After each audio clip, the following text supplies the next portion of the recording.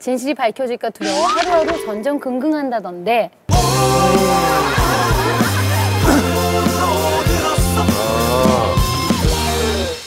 재벌돌 하면 단골로 나오는 대표적인 분들이 있잖아요. 뭐 슈퍼주니어의 예, 최시원 최시원. 씨, 2AM의 정진훈 어. 씨, 그 다음이 형식 씨랍니다. 오, 오. 네, 꼭 넘버 3 안에 드는데 어. 사장님이 아니라요. 어. 이사님. 아 이사. 근데 광희 씨가 콕 집었어.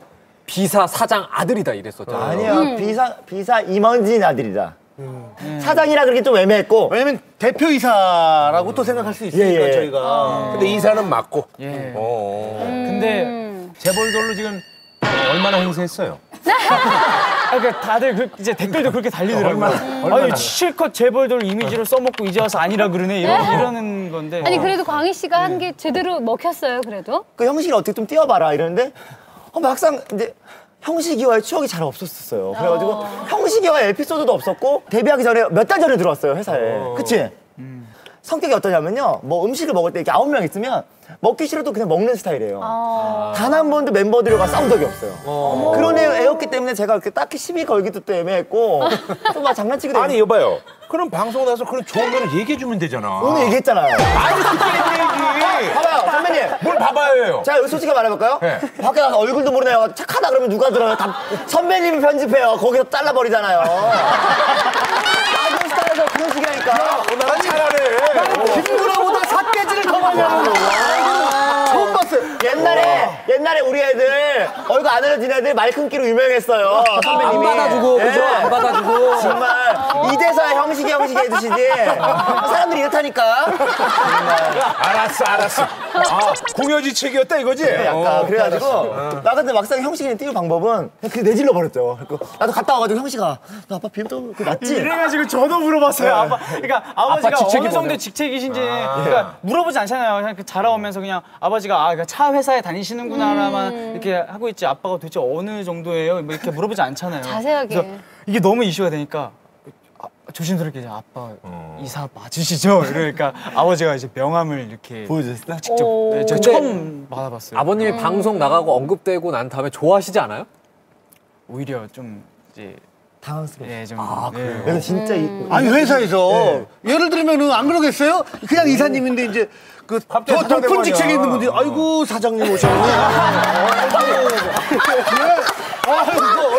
아, 아닙니다 아닙니다. 아니 왜냐면 내가 저희 매형을 제가 여기서 언급했잖아요. 저희 매형이 증권가에서 고위직에 있거든요.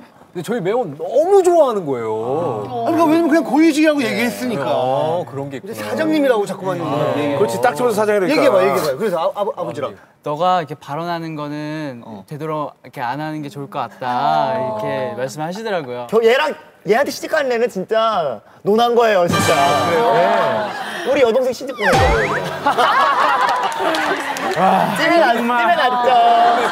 형식 씨가 고등학교 때 밴드부 출신이잖아요. 어, 네, 예, 예, 맞습니다. 그래서 경기도 대회에서 1등 했었대요. 대회 밴드부? 나가서. 예. 뭐? 밴드. 아껴 뭐요? 아니, 보컬로. 아 보컬로. 1등도 했어서 그래서 사실은 저희가 흔히 알고 있는 그 SM 그다음에 뭐 YG 이런데 그래서 캐스팅 제의가 엄청 많이 받았었대요. 명함 명함 네. 네. 실제로 노래를 굉장히 잘하는 분이라고 그러던데. 근데 왜 글로 안 갔어요?